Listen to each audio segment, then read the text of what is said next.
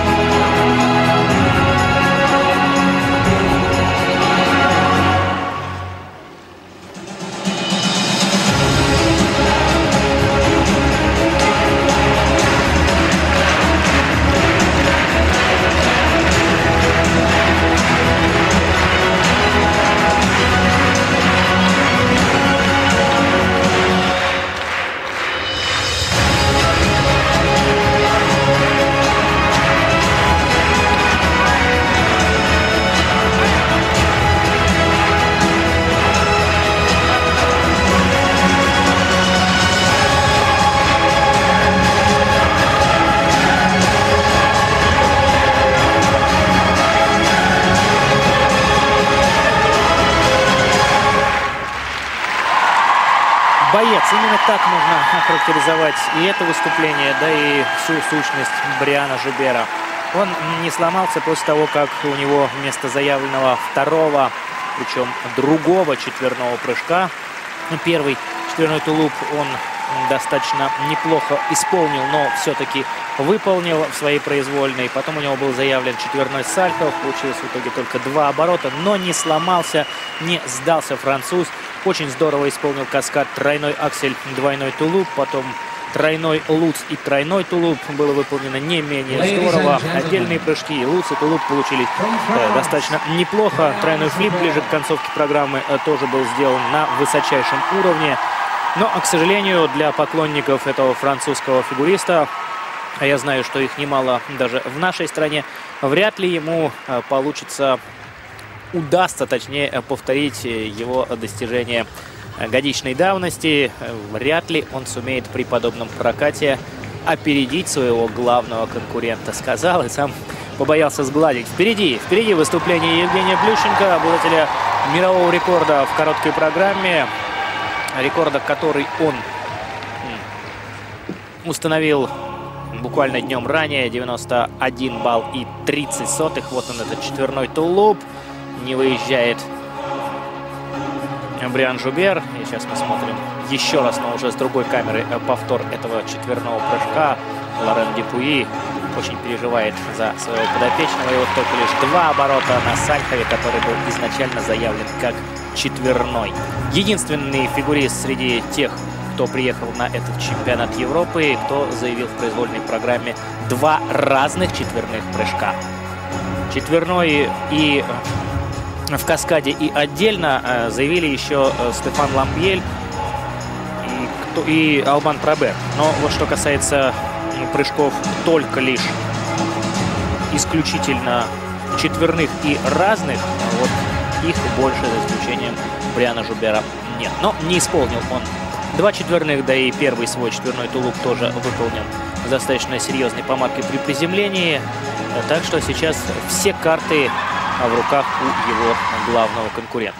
Разумеется, он должен обойти идущего сейчас на второй строчке Ника Панцерова. Вместе с ним и Самуэля Контести. Достаточно велико было преимущество Жубера над конкурентами. Но что касается итоговых перспектив у трехкратного чемпиона Европы, то здесь все достаточно туманно. 147,9 балла. Результат Бриана Жубера. Прибавляем еще 88 и получаем сумму э, с лихвой перекрывающую результат Самуэля Контести. 230 с лишним. Да, 236 и 45. Жубер лидер соревнований.